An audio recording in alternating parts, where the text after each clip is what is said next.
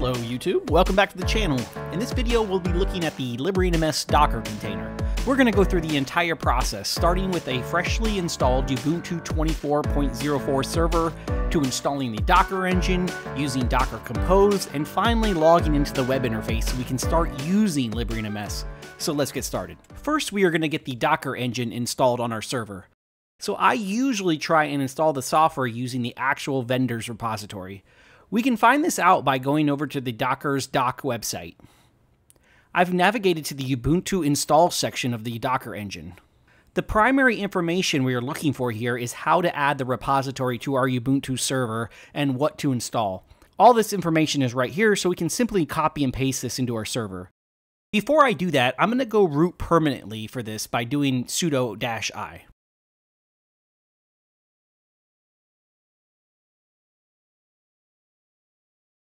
And now let's copy the commands to install Docker.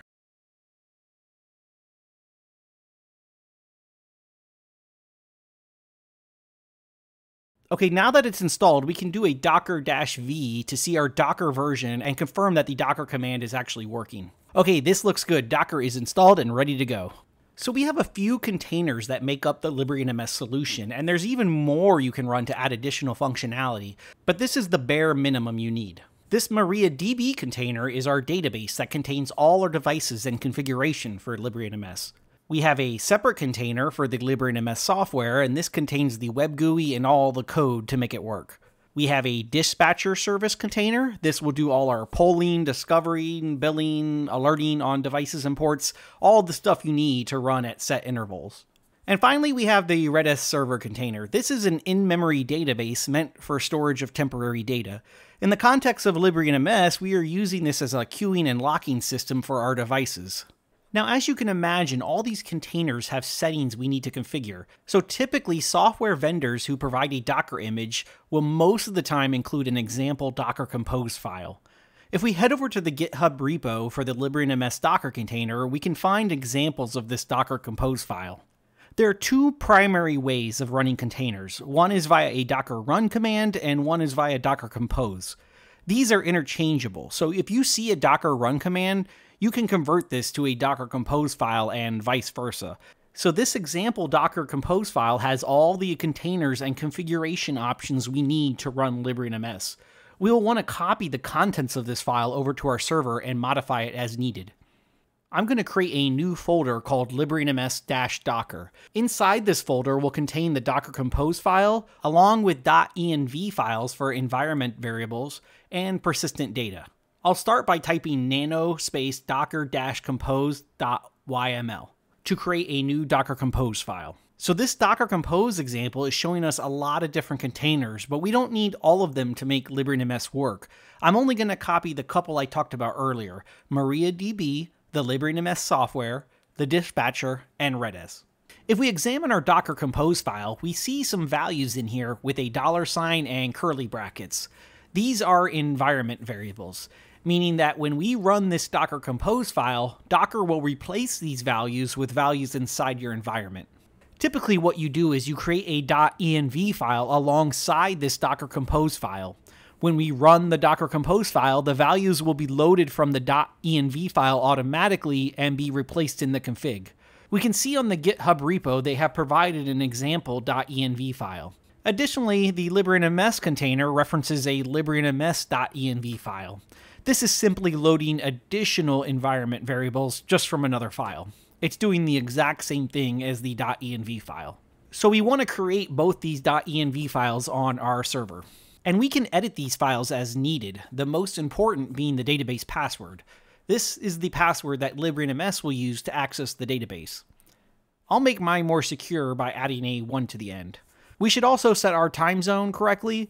This PUID and GUID is the user and group ID that will be used when creating files on the host hard disk, so outside of the container. So now we should have three files on our server, but before we run this Docker Compose, I want to mention volumes. Docker containers are immutable, meaning any changes I make in a container at runtime are lost when I restart it.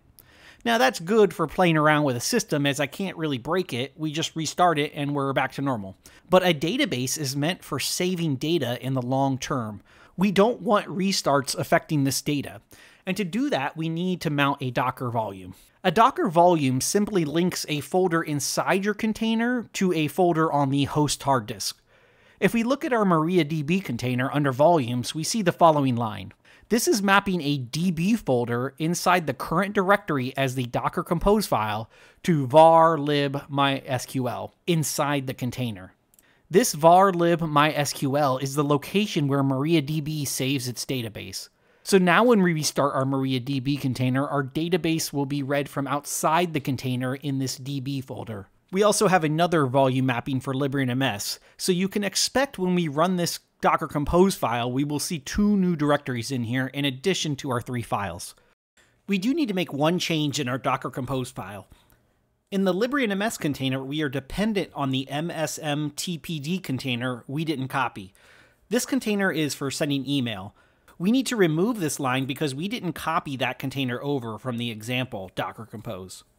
Okay, we're finally ready to start this. We need to make sure that we're in our folder that contains our Docker Compose file.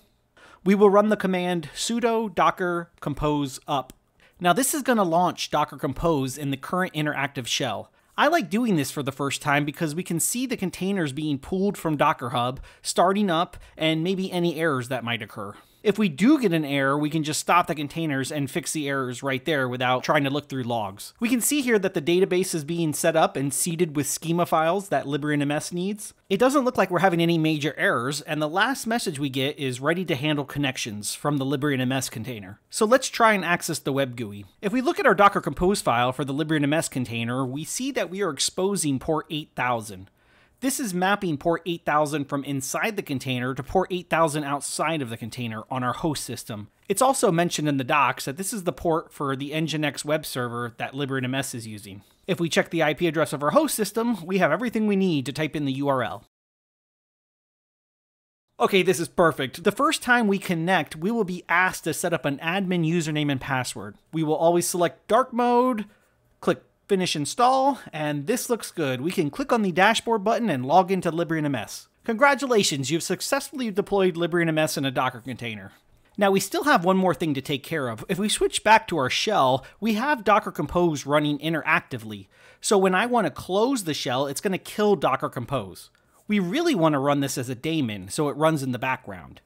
To do that, we'll kill the Docker Compose session with Control C. That will shut it down gracefully.